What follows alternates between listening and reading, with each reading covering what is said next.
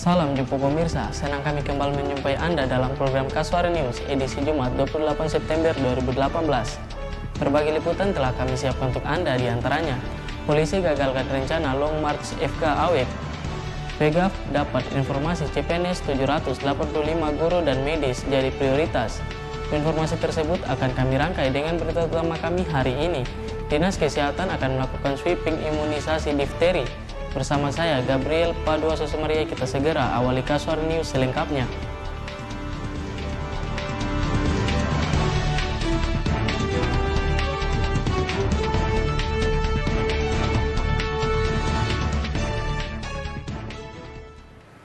Kepala Dinas Kesehatan Provinsi Papua Barat mengatakan, jika hasil pemeriksaan laboratorium menyatakan bocah berusia 5 tahun di Manokwari meninggal karena positif terserang difteri, maka Dinas Kesehatan Provinsi Papua Barat akan melaksanakan sweeping dan imunisasi difteri.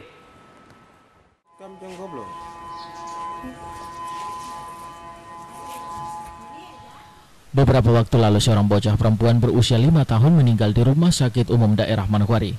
Sebelum meninggal dunia, bocah tersebut didiagnosa menderita penyakit difteri klinis. Kepala Dinas Kesehatan Provinsi Papua Barat Otto Parorongan mengatakan saat ini pihaknya sedang melakukan uji sampel di Surabaya untuk mengetahui indikasi penyakit tersebut. Apabila terbukti pasien meninggal dunia akibat difteri, maka Dinas Kesehatan Papua Barat akan melaksanakan imunisasi DPT atau difteri, tetanus, dan pertusis, terutama di sekitar lingkungan tempat tinggal korban.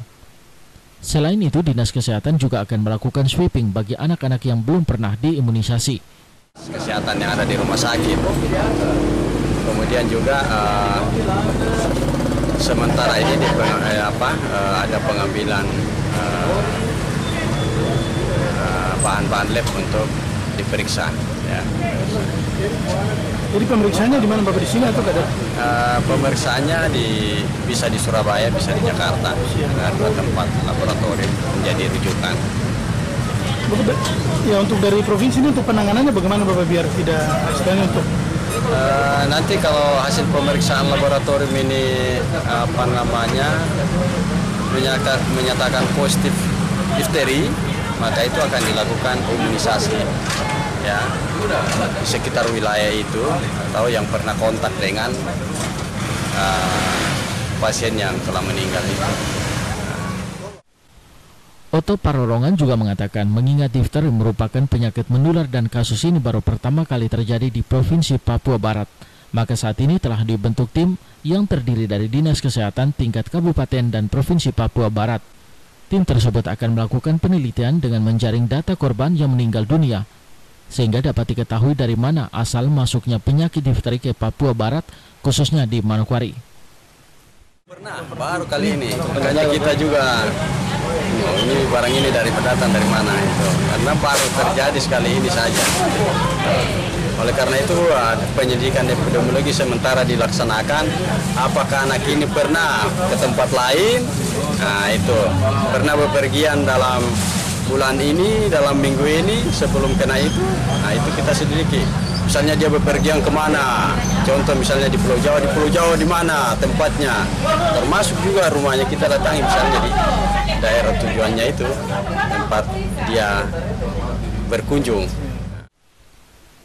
seperti diketahui difteri adalah infeksi menular yang disebabkan oleh bakteri Corynebacterium. Jika tidak diobati dengan tepat, difteri dapat menyebabkan komplikasi berbahaya, bahkan berujung kematian.